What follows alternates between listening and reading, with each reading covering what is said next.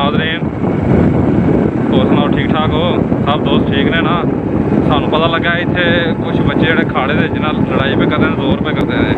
ਤੇ ਚਲੋ ਤੁਹਾਨੂੰ ਨਾਲੇ ਉਹਨਾਂ ਦਾ ਜ਼ੋਰ ਵਹਾਨੇ ਆ ਤੇ ਨਾਲੇ ਤੁਹਾਨੂੰ ਕੋਈ ਫਣੀ ਗੱਲਬਾਤ ਉਹਨਾਂ ਨਾਲ ਕਰਕੇ ਵਹਾਨੇ ਆ ਆ ਜਾਓ ਲੋ ਯਾ ਕਰਦੇ ਜੇ ਕੁਸ਼ਤੀ। ਤੰਗ ਵੱਜ ਗਈ। ਇਹਨਾਂ ਦਾ ਸ਼ੁਗਰ ਲਾਣੇ ਆ ਚਲੋ।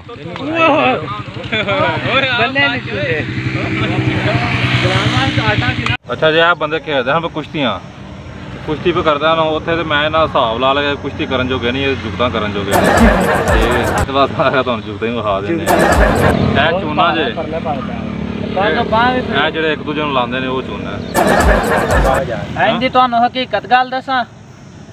ਅਕਲ ਪਿਆ ਨਹਾਉਂਦਾ ਪਿਆ ਤੇ ਮੈਂ ਵੀ ਉੱਤੋਂ ਆ ਗਿਆ। ਵੇਖ ਕੇ ਤੇ ਸਿਰ ਦੇ ਉੱਤੇ ਛਾਪਰ ਪਾਏ ਉਸ ਮੈਂ ਕਿਹਾ ਕਿਉਂ ਪਾਏ? ਜਾਂਦਾ ਮੇਰੀ ਅਕਲ ਵਿੱਚ ਪਾਣੀ ਨਾ ਪੈ। ਆੜਾ ਪਿੱਛੇ ਬੈਠਾ ਜੇ ਪਤਾ ਲੱਗ ਗਿਆ ਇਹ ਨਾ ਤੁਸੀਂ ਤੇ ਅੱਜ ਬੈਠੇ ਜਿਵੇਂ ਲੰਗਰ ਖਾਣ ਲੱਗੇ ਗੱਲ ਇਹ ਬੱਸ ਤੇ ਬਹਿ ਕੇ ਜਾਂਦਾ ਸੀ ਮੈਂ ਤੇ ਬੱਸ ਡਰਾਈਵਰ ਨੂੰ ਆਂਦਾ ਯਾਰ ਰਫ਼ਤਾਰ ਘੱਟ ਰੱਖ ਮੇਰੇ ਘਰ 16 ਬੱਚੇ ਨੇ। ਆਂਦਾ ਆਪਣੀ ਰਫ਼ਤਾਰ ਤੇ ਚੈੱਕ ਕਰ ਜਾ ਕੇ ਫਿਰ। ਉਹ ਵੇਖੋ ਇਹ ਬੰਦਾ ਇਹ ਜਿਹੜਾ ਕੱਲ ਕੁੱਤਾ ਦੁੱਧ ਪੀ ਰਿਹਾ ਤੇ ਉਹਦੇ ਭਾਂਡੇ 'ਚ ਮੂੰਹ ਮਾਰਿਆ ਸੋ ਉਹ ਇਹਨੂੰ ਵੇਖ ਕੇ ਕੀ ਕਰਦਾ? ਹੂ, ਕਰਦਾ ਲੈ ਅਸੀਂ ਤੇਰੇ ਕੁਛ ਨਹੀਂ ਲੱਗਦੇ।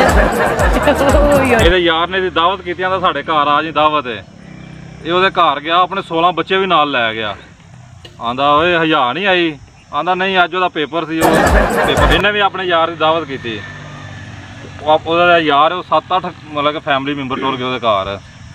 ਆਂਦਾ ਯਾਰ ਤੂੰ ਗੁੱਸਾ ਤਾਂ ਨਹੀਂ ਕੀਤਾ ਸੀ 7-8 ਆ ਗਿਆ ਤੂੰ ਇੱਕ ਨੂੰ ਇਨਵਾਈਟ ਕੀਤਾ ਆਂਦਾ ਨਹੀਂ ਨਹੀਂ ਕੋਈ ਗੱਲ ਨਹੀਂ ਮਹਿਮਾਨ ਆਪਣਾ ਰਿਜ਼ਕ ਆਪ ਲੈ ਕੇ ਆਉਂਦੇ ਨੇ। ਤੁਸੀਂ ਦੱਸੋ ਕੀ ਕੀ ਲੈ ਕੇ ਆਏ?